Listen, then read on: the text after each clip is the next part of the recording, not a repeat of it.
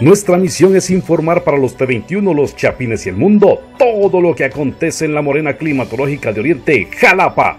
Antes de ver este video, no te olvides de suscribirte a nuestro canal y así mantenerte informado. Una pareja fue atacada con arma blanca, al parecer pudo haber sido un asalto. Esto ocurrió en Colonia Los Laureles, Jalapa. Ahí bomberos voluntarios fueron informados de un ataque armado. Al llegar a dicho lugar le prestaron los primeros auxilios a Miriam Cruz de 18 años y Carlos Eduardo Cárcamo de 18, quienes presentaban heridas punzocortantes. Ambos pacientes presentaban heridas de arma blanca en diferentes partes del cuerpo, mismas que le ocasionaron sujetos desconocidos que después del hecho se dieron a la fuga.